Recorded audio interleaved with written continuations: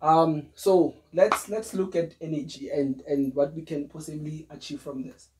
So we all know that energy is the ability to do work. Energy is a scalar quantity and is measured in joules as well. So we have two types of energy that you guys have to look at. We've got kinetic energy, kinetic energy, which will denote as EK. Kinetic energy is just the energy that an object has because of its motion. How much energy does it possess because of its motion? EK is mathematically represented as half of the mass times the velocity squared, which is something we've already established. The second type of energy that you look at is called gravitational gravitational potential energy. Now we use we denote it by EP, which means gravitational potential energy. Gravitational potential energy is just the energy an object has because of its position above the Earth's surface. How high is it above the Earth's surface? When we know that, we can now calculate its gravitational potential energy, which is denoted as EP is equals to mgh mathematically, whereby this h is the height of the object above the Earth's surface. Very, very crucial stuff. Now, if I was to take the sum of kinetic energy and gravitational potential energy, what we have is mechanical energy. So, mechanical energy is just the sum of kinetic energy and gravitational potential energy. So, mechanical mechanical energy we denote it as m subscript e which is just going to be the sum mechanical energy is the sum of ek and ep which you can expand to half of mv squared plus mgh that is how you calculate mechanical energy mechanical energy is the sum of the two now you guys deal with an isolated system to mean this system does not have friction. Now, if you've got that type of system, it means your mechanical energy is going to be conserved, which is known as the law of conservation of mechanical energy. It states that in an isolated system, the total mechanical energy is conserved or it remains constant. So, the um, the law or the principle of conservation of conservation of EMEC, which is mechanical energy.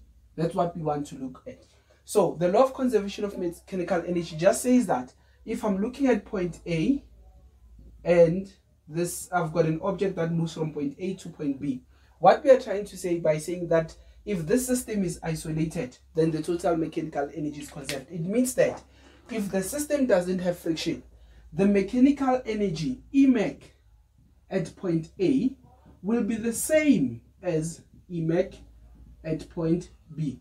So the mechanical energy is conserved at each point. Mechanical energy here is equal to the mechanical energy there. Mechanical energy there is because it's an isolated system, the total mechanical energy is conserved. With that said, we can conclude to say, okay, EMEC at the initial point, EMEC initial is equal to EMEC at the final point, which you can expand to say half mvi squared, which is the initial kinetic energy, plus mghi, which is the initial mechanic um, gravitational potential energy.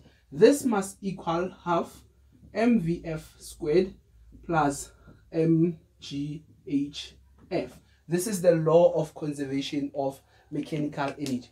Now let's look at a, a practical situation and see what would happen if we had this kind of scenario. Now, assume that we, we've got a ball that moves from point A to point B. Let's assume that we'll release a ball at point A. It's going to move until point B there. So we are looking at that situation.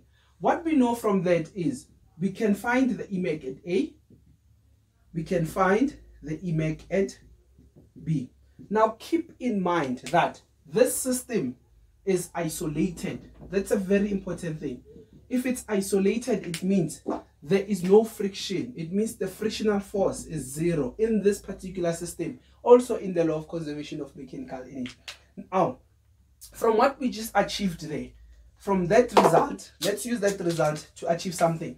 We have half mvf squared plus mghi, sorry, this is an initial, initial is equals to half mvf squared plus mghf.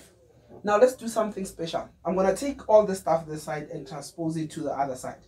So I'm left with 0 is equals to half mvf squared minus, when I transpose this guy, I will have half mvi squared plus mghf, which is this guy. When I transpose him, I'll have minus mghi.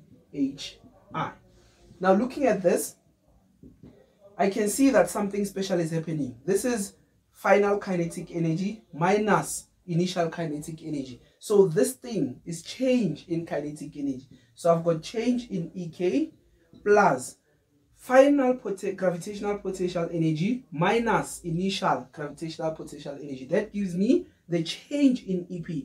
So I've got change in EP. What does this mean? It means I'm looking at the uh, frictional force there, which is zero. It doesn't exist. It means if the frictional force is zero, then my change in EK plus change in EP will be zero. Now, this leads us to a very important conclusion to say, if, if I had a system whereby there was friction or tension, which these two are what we call non-conservative forces. So in that case, if I have a friction or tension, it means that system is no longer isolated and it means my frictional force is not zero.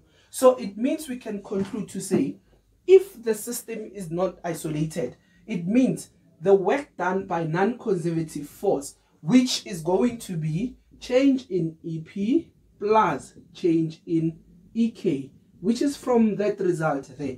To say that in this case, there is no friction, there is no tension. So the net work done by non-conservative forces is zero. But if it's non-zero, then you have something like that. So you've got work done by non-conservative forces, which you can calculate by change in EP plus change in EK. The only non-conservative forces that you guys deal with is the tension and the frictional force. So it means if there is no tension and there is no frictional force, work done by non-conservative force becomes a zero. But if they exist, then work done by non-conservative force is non-zero, which you can calculate by saying change in EP plus change in EK. That's how you uh, can use the work done by non-conservative forces.